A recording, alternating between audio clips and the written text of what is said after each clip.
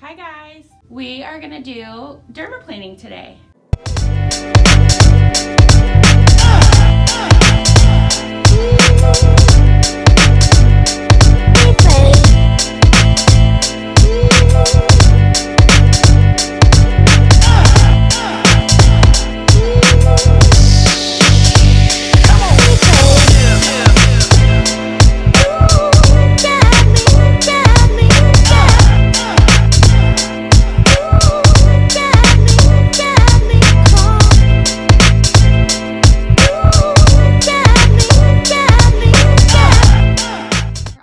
I did love the effects of the dermaplaning, and I definitely would get the procedure again.